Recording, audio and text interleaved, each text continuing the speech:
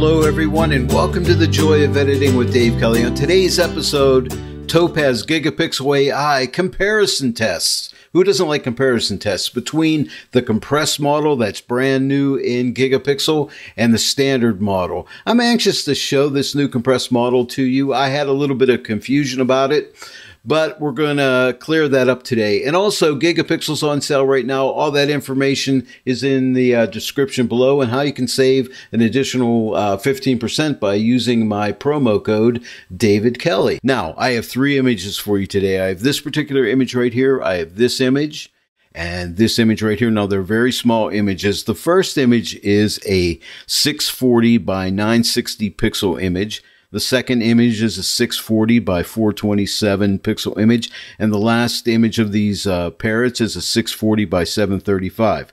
Now, when I did my last uh, video, which was the first look of the new Gigapixel update, I was a little confused about the uh, compressed model. Okay, so and some some viewers commented about it, what it was, and I want to thank them for doing that. And I did a little research myself.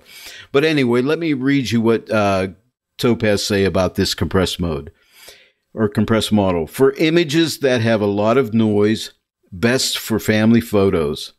Images downloaded from the internet, which these are, and photos taken on old cameras. Now, I'm going to provide these images for you and also my test results. Today, I'm going to uh, run these images into um, Gigapixel AI and upsize them six times. I'm going to run them in the standard mode, and then I'm going to run them in the uh, compressed model. Okay. And that way, you'll be able to download these images and actually see for yourself what the results really give you. Because it's best that you have these images, I think, rather than me showing them to you on my computer screen here. You can download the images and do the pixel peeping yourself. And I think this will really help you out, especially if you want to see if this is the right software for you. So, hey, without any further ado, let's get started. All right, we're now inside uh, of uh, Gigapixel AI. This is version 5.2.1, the latest version. Okay, now here's my first image. Now, just to set this up for you, I have this set at six times up conversion. Uh, no cropping or anything. Uh, face refinement on this image is turned on. Now, face refinement, if I hover over this little question mark, it tells us enable automatic face refinement to utilize additional AI processing that produces a more enhanced enlargement of faces in your photos. Okay, so it says that, so I have the face refinement turned on. I'll turn it off. Just watch the face here. See if you can see a difference here. It'll generate the preview. Okay, so that's what it looks like with it off. Now I'm going to turn it on. Let me know if you see any difference there. I can't really see much difference, but I turned it on. Now I'm in the standard uh, model here standard, and we have the three models standard, architectural, and the new compressed uh, model. Okay, so here's standard. Now let me click it on to compress. Now I'm zoomed into a 100%. Let me go to compress, see if you can see a difference. I can definitely see a difference. It seems a lot sharper if you look at her hair. Okay. And again, you're going to be able to download these results and see for yourself what kind of a job it does. For all of my tests today, I'm leaving uh, Gigapixel in the auto position, so suppress noise and remove blur will be determined uh, by Topaz Gigapixel AI. So I want that to be standard for all the different tests. Now that was our first image. Let's move on to the next image of this mountain.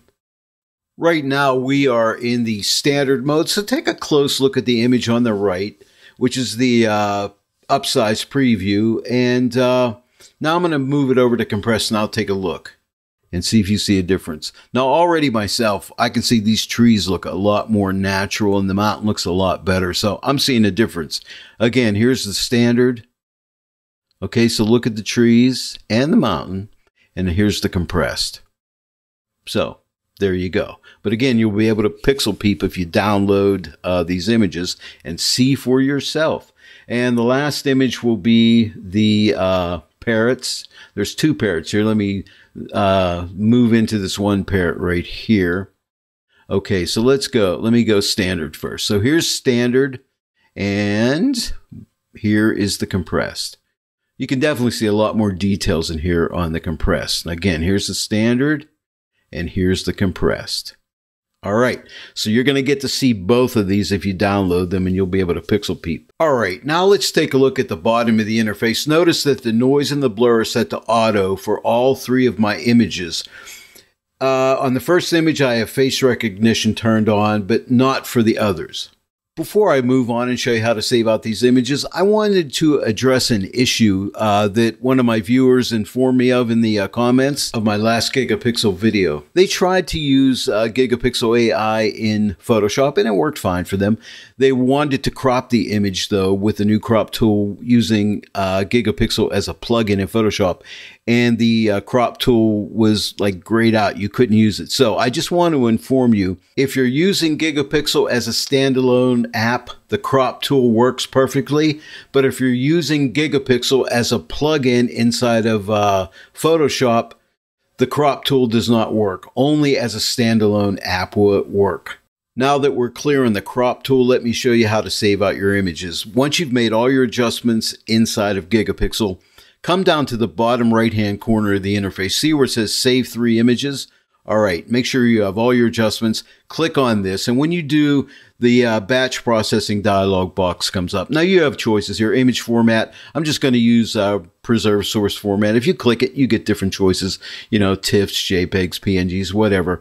You can uh, add a file name to the file uh, as a prefix or a suffix. And I just usually put gigapixel as a prefix or a suffix, either one. But this time I'm using a prefix. I usually use suffix, but whatever you like. You can add the scaling mode to the file name by clicking on this uh, little toggle switch right here.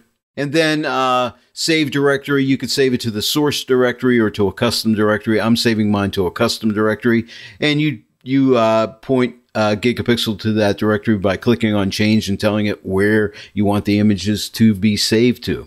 And then you have your color profile. You can save it with the uh, source profile, which is what I'm doing on these images. Or if you click it, you could change it to like ProPhoto, sRGB, Adobe RGB, whatever you need. Okay.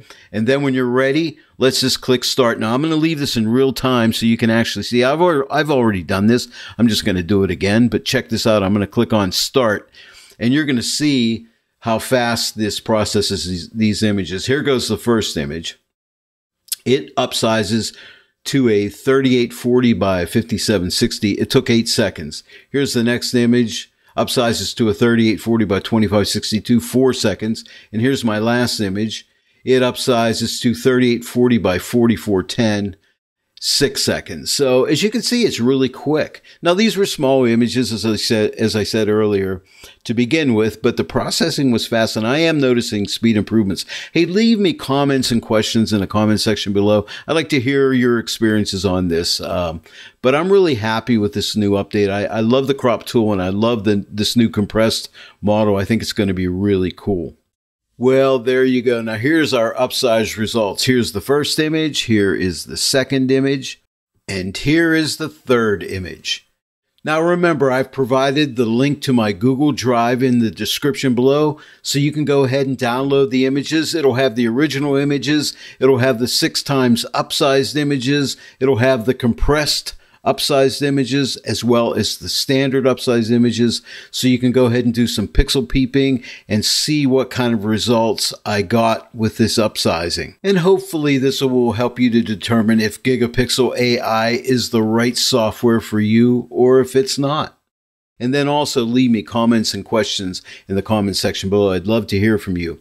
Uh, if you enjoyed this tutorial today, please give it a like and share it with your friends. If you're not yet a subscribe to my channel, please subscribe and click that bell notification icon. And then every time I upload a new tutorial, you'll be notified about it. And uh, don't forget, Gigapixel is on sale right now. All that information's in the description below. And if you use my affiliate link and my promo code David Kelly, you'll save an additional 15%, which is really cool. And that discount also applies to a license upgrade. If your Gigapixel license has expired, you can go ahead and renew that and save 15% with my uh, promo code. Hey, well, I want to thank each and every one of you for joining me today in the joy of editing with Dave Kelly. I'll see you all right here next time. But until then, as always, happy editing.